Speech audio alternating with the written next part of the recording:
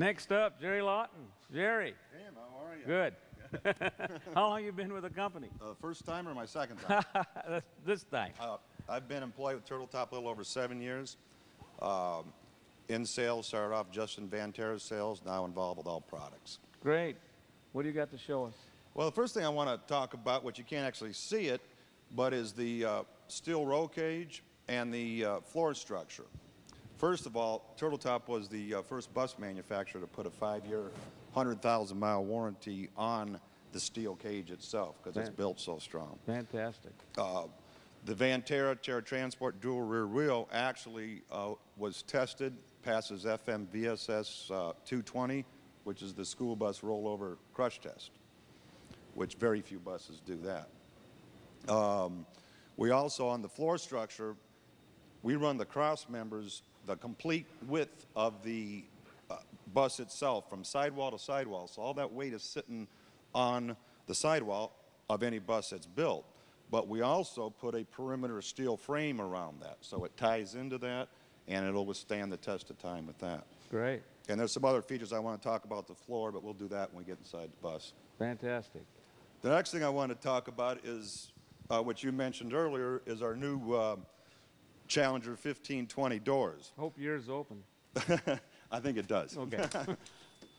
In fact, okay, one of the first things you'll see is it has a uh, stainless steel recessed automotive style paddle handle inside and out. It's built actually with a uh, complete metal frame, aluminum inner panel, and an outer panel, and this door is solid. Um, it's got a complete hinge all the way up and down, and the other door actually is the, always in the same construction of it. But you'll notice also we don't have that little latch down here anymore.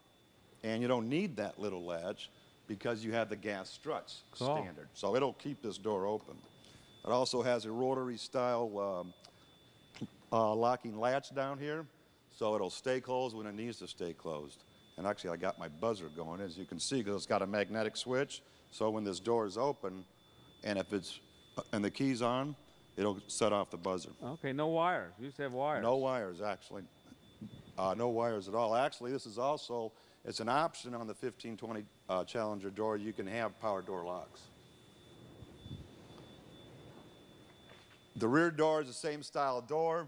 It does not come with a window standard. You have to option the window in, but every other feature with it is the same. And you can hear it close. When it closes, it's solid, so. Let's go inside the bus.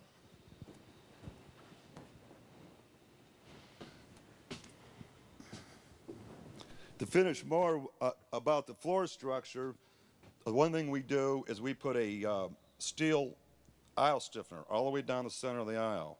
So that floor is not going to get weak years later. It's going to withstand also the test of time with the bus. Uh, we also weld the seat track on a reverse C-channel cap that runs the length of the floor, and it's going to hold that seat in, which of course pass all the federal motor vehicle safety standards.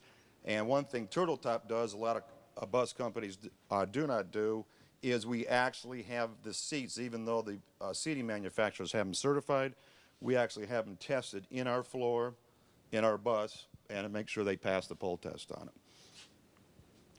Uh, one thing with this uh, floor plan here is very versatile. Oh, it can be actually a 12 passenger with driver co-pilot. It's set up.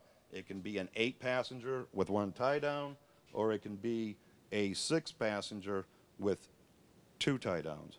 And it's just a matter of taking your foldaways and put them up and down on. 'em. But uh, also, this bus is a clean bus. And Turtle Top was the first bus manufacturer to start the clean bus philosophy. And what that entails is it's a nanoside material, which is a silver oxide, which actually kills superbugs, bacteria, keeps them uh, from mutating.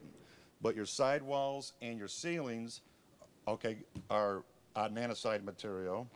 Your seats, uh, which in fact the material on this seat here is a new uh, gray pinwheel fabric, not vinyl. So now we have a clean bus available in vinyl and we have it available in fabric. We've also, you'll see on the AV grab handles, there's an option which uh, Freedman does for us, is they wrap that AV grab handle for a very minimal uh, charge. Oh, oh, that's part of the clean bus also.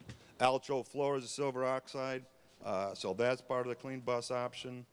You'll see, uh, as this cameraman's got his hands on, the stanchion pole was wrapped with a uh, nanoside uh, stanchion grab handles, okay, which is part of the clean bus.